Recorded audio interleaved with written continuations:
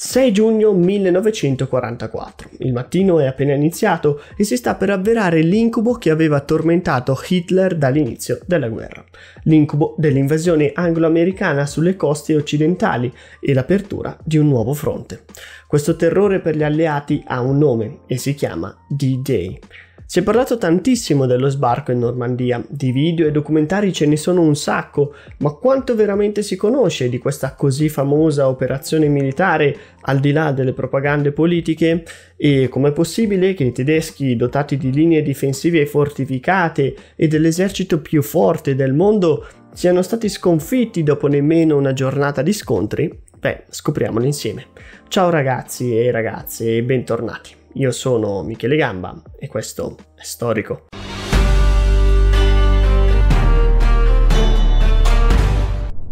Passati quattro anni dall'inizio della guerra, il grande momentum iniziale dell'espansione tedesca è ormai esaurito e l'avanzata della Wehrmacht inizia ad incagliarsi su più fronti. In Russia l'operazione Barbarossa, con la quale i leader nazisti contavano di piegare il gigante sovietico, si è mostrata più complessa del previsto e la guerra, per i tedeschi, da offensiva si stava ormai trasformando in difensiva. Ciò che è peggio è che i tedeschi sono impegnati anche in Africa e in Italia, dove gli alleati anglo-americani piano piano stavano guadagnando terreno. Alla Germania mancano sempre più risorse, manca il petrolio, mancano le munizioni e iniziano a mancare anche i soldati. In questa situazione l'apertura di un nuovo fronte in Francia sarebbe stato un duro colpo al Terzo Reich e andava quindi impedito ad ogni costo. Agli occhi dei comandi nazisti però le invasioni in Italia e in Africa sembrano quasi una preparazione a qualcosa di più grande, qualcosa che Hitler in persona prospettava già da diversi anni. Il leader nazista è infatti convinto che i suoi nemici avrebbero tentato un'invasione della Francia per liberare il loro alleato e per chiudere in una tenaglia sovietico alleata la Germania, convinzione che, sebbene presente fin dal 1940, prende effettivamente corpo dopo l'ingresso in guerra degli Stati Uniti d'America, a seguito dell'attacco a Pearl Harbor nel 1941. A proposito, se vi siete persi il video andate a vederlo, ve lo metto qua sopra, vi basterà cliccare nel link che vi metto. Non passa quindi molto tempo affinché Hitler corra ai ripari. Un anno dopo, nel 1942, è nominato feldmaresciallo della difesa della costa occidentale uno dei suoi uomini più fidati e decorati, Erwin Rommel, e viene ordinata la costruzione di un'enorme linea di fortificazioni e strutture difensive lungo la costa occidentale, l'Atlantic Wall, o in italiano il Vallo Atlantico. E come vedete dalla cartina che vi propongo, copre tutta la costa occidentale, dal nord della Norvegia fino al confine con la Spagna. È chiaro fin da subito però che le risorse necessarie alla totale realizzazione dell'opera non erano sufficienti in tempo di guerra, quindi il vallo finisce per essere sì un coperto lungo tutto il perimetro designato, ma il grosso delle misure difensive viene comunque progettato in quei luoghi dove era più probabile uno sbarco alleato, primo fra tutti la regione francese di Calais. La regione di Calais infatti distava solamente 40 km dalle spiagge inglesi, distanza talmente poca, talmente piccola, che avrebbe reso più agevole un eventuale trasporto di uomini e motorizzati. Milioni di tonnellate di cemento e migliaia di acciaio sono impiegati per la costruzione di un numero altissimo di bunker, di casematte, di postazioni d'artiglieria e di mitragliatrici. C'erano interi campi costellati di filo spinato e di mine e per evitare l'atterraggio delle squadre aviotrasportate vennero rese inagibili in molte zone d'atterraggio, in particolare allagando le pianure considerate strategicamente più rilevanti. Ma non solo la terraferma era oggetto di fortificazione, ma anche le acque costiere sarebbero state costellate di mine subacquee e diverse costruzioni per impedire l'avvicinamento e l'avanzamento dei mezzi anfibi. Insomma, si tratta di un sistema di protezione che, per quanto incompleto, comunque era ben corazzato e difficile da aggirare. Ecco, la maggiore criticità del vallo sta forse nel suo utilizzo. In un sistema di fortificazioni, infatti, la cosa più importante è che le difese debbano essere supportate dall'esercito. Esercito che però, negli ultimi anni della guerra, è sempre più impegnato sui fronti russo, africano e italiano. Le truppe di stanza in Francia, fino a pochi giorni prima dello sbarco, sono in particolare soldati in media più vecchi di quelli americani e inglesi, oppure giovanissimi, e soprattutto dell'Ost Legionen, scusate per le pronunce sbagliate come al solito, la divisione dell'Est, formata da volontari arruolati in Mongolia e nei territori dell'Est Europa, e che erano generalmente meno determinate. C'erano poi altre due grandi falle nella difesa tedesca. La prima era la mancanza dell'aviazione e l'altra, la seconda, era la distanza eccessiva del dislocamento delle divisioni corazzate.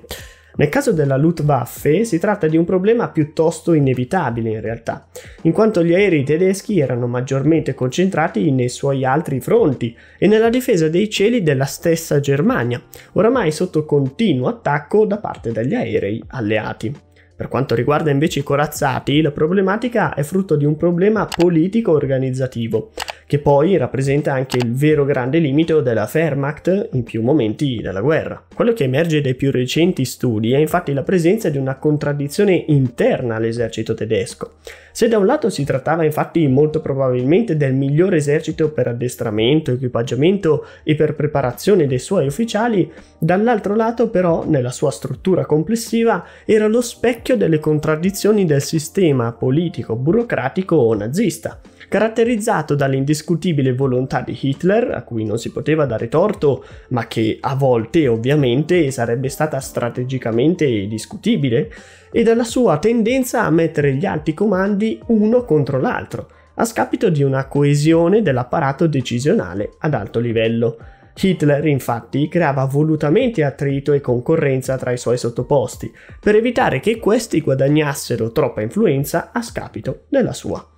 Il problema è che un tale comportamento andava inevitabilmente ad inficiare sulla logistica generale degli eserciti, che nel caso del fronte occidentale si traduce nella divisione del comando tedesco tra von Rundstedt, capo del fronte occidentale, e appunto Rommel, come abbiamo visto, capo della difesa costiera. Il tutto c'entra con la questione dei corazzati perché era proprio von Rundstedt a voler mantenere le sue divisioni corazzate nell'entroterra, con l'idea di tenerle pronte per farle convergere in massa nelle zone precise a sbarco avvenuto mentre Rommel sosteneva che l'aviazione britannica e americana, una volta iniziate le operazioni di sbarco, avrebbero paralizzato i movimenti delle truppe tedesche, bloccandole lontano dai teatri di battaglia, e voleva quindi portarle il più vicino possibile alla costa per affrontare il nemico al momento dello sbarco richiesta che però fu evidentemente respinta, generando così il problema che dicevo poc'anzi. Bene, abbiamo visto la situazione tedesca, ora passiamo però a quella degli alleati.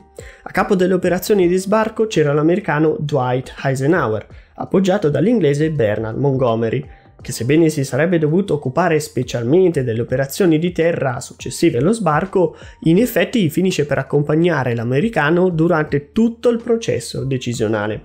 La presenza di un generale americano e di uno inglese rappresenta un aspetto spesso sottovalutato, ma che in realtà è importantissimo, forse il più importante di tutti. Questo perché riesce ad appianare le difficoltà legate ad una forza formata da eserciti diversi, di nazioni diverse, che seppur alleate possedevano interessi, valori, motivazioni differenti e che quindi diventava difficile da coordinare. La presenza dei due generali ha merito infatti di fungere da mediazione e di far collaborare l'esercito americano, quello inglese e quello canadese, in azioni coordinate che nella storia avrebbero avuto pochi e uguali.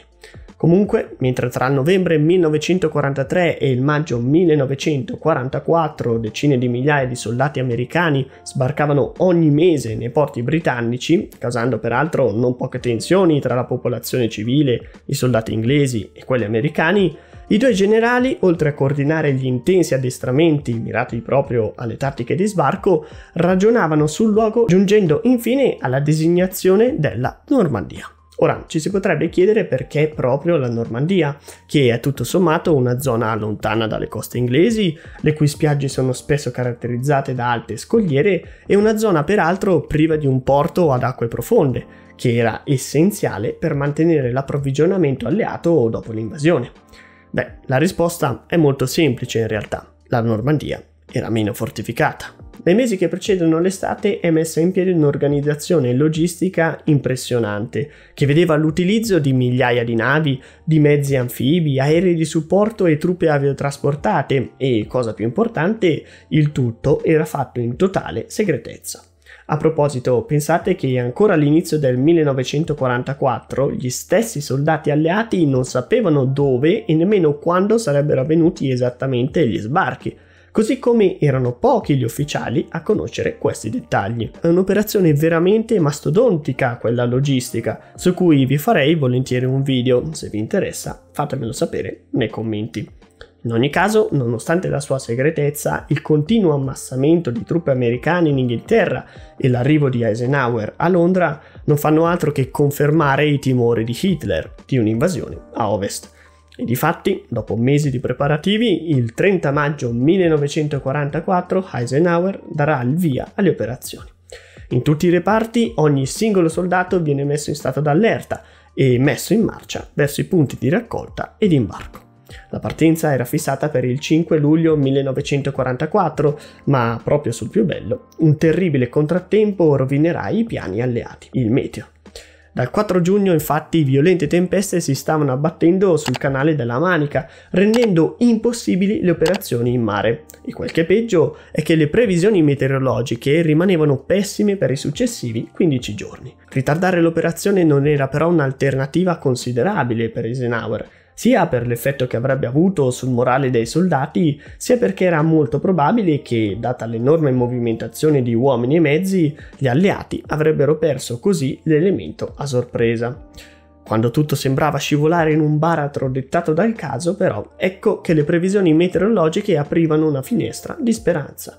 Il 6 giugno il cielo probabilmente sarebbe rimasto calmo e con esso il mare. Si tratta di una vera e propria scommessa, ma sentita dai comandi alleati come inevitabile. È così che il 6 giugno i motori delle navi, dei mezzi anfibi e degli aerei sono messi in moto. L'invasione sta per cominciare. Prima di tutto la Royal Air Force e la US Air Force iniziano un bombardamento a tappeto sull'intera Normandia, anche se concentrandosi sulle spiagge dello sbarco e sulle strutture difensive che le proteggevano. Dopo gli aerei poi è il turno della flotta e una volta a tiro anche le corazzate alleate faranno fuoco. Quello che subiscono i tedeschi è letteralmente una pioggia di acciaio e fiamme che distrugge gran parte delle difese del muro atlantico, nel tratto che era stato preso di mira. In quattro delle cinque spiagge designate allo sbarco le difese sono letteralmente polverizzate e vorrei fare anche notare che il bombardamento sulla Francia del 6 giugno, così come quelli dei mesi precedenti, sono deliberatamente eseguiti per distruggere non solo le zone strategiche, ma anche le città popolate dai civili francesi. I danni alle strutture e alle persone sono talmente estesi che lo stesso Churchill, ad un certo punto, porrà il problema ai comandi alleati. Churchill si preoccupava infatti che l'odio provocato dalle distruzioni alleate avrebbe portato il popolo francese ad allontanarsi dalla causa della resistenza e dalla collaborazione con gli alleati, essenziale una volta sbarcati in Francia. La risposta che Churchill riceve è però una sola. La guerra è la guerra e andava vinta ad ogni costo. Questo è un modus pensandi che ricordo tipico di qualsiasi esercito in campo dell'epoca. In ogni caso, dopo la pioggia dell'artiglieria è il momento del vero e proprio sbarco. Alle prime ore dell'alba del 6 giugno i tedeschi sopravvissuti ai bombardamenti vedono infatti l'impensabile. Un numero che sembrava incalcolabile di navi si stava avvicinando. Ecco, qui vorrei soffermarmi perché già leggere i numeri relativi allo sbarco è veramente impressionante. Figuriamoci di trovarseli di fronte sapendo che il tuo lavoro sarebbe stato quello di fermare una tale orta. I numeri, o meglio le stime dei numeri, parlano, e ve li metto qua a schermo, di circa 150.000 soldati e quasi 7.000 imbarcazioni alleate, accompagnate da quasi 200.000 unità del personale di bordo della flotta alleata mentre da parte tedesca si stimano circa 50.000 soldati e 170 cannoni e pezzi d'artiglieria in generale. Un'inferiorità numerica schiacciante che ricordo essere accompagnata da molti altri punti deboli, oltre che dall'effetto sorpresa. Ecco, messo così si tratta di un rapporto di forze talmente a favore degli alleati da far sembrare la scelta di impiegare così tante truppe un'esagerazione, Tuttavia bisogna sottolineare che al momento della pianificazione dello sbarco gli alleati sopravvalutano la condizione del nemico e delle strutture difensive e sono terribilmente preoccupati dalle condizioni meteo instabili, che da sole avrebbero potuto sancire il fallimento dell'operazione. Pensate che subito dopo l'ordine di attacco Eisenhower sarà talmente pessimista da redigere preventivamente una dichiarazione per i media in cui ne annunciava il fallimento. Comunque, per quanto riguarda le operazioni di sbarco, agli inglesi e canadesi è assegnato il fianco destro dell'invasione, in particolare le spiagge Sword e Gold per i britannici e Juno per i canadesi. Il fianco sinistro invece è obiettivo degli americani, divisi nelle spiagge di Omaha e Utah. Ecco, noi tutti abbiamo in mente scene di ferocissimi combattimenti, mitragliatrici che sparano a tappeto su uomini che corrono su spiagge in cerca di ripari, proiettili che volano e così via. Beh, questo è vero, certo, ma lo è in parte. Per quanto riguarda Sword, Juno, Gold e Utah, gli sbarchi infatti incontrano strutture difensive già devastate dai bombardamenti ed eserciti con già molti feriti e morale in pezzi. Quindi le operazioni in realtà procedono tutto sommato senza troppi problemi. Certo, gli scontri ci sono e molte sono le vittime, come normale in una guerra, ma non si tratta certo di numeri eccezionali. Si parla infatti di circa 2000 perdite alleate spalmate sulle quattro spiagge, al netto di decine di migliaia di truppe sbarcate e nel giro di qualche ora tutti questi obiettivi saranno comunque conquistati, tutti meno che uno, Omaha Beach. Qui le cose vanno fin da subito diversamente e in maniera disastrosa per gli alleati. Il supporto aereo e navale manca gran parte degli obiettivi strategici a causa delle fitte nubi e la marea porta parte dei mezzi da sbarco sotto il tiro diretto delle postazioni tedesche e parte invece vengono spinti troppo a largo, causando l'annegamento di moltissimi uomini appesantiti dai loro equipaggiamenti.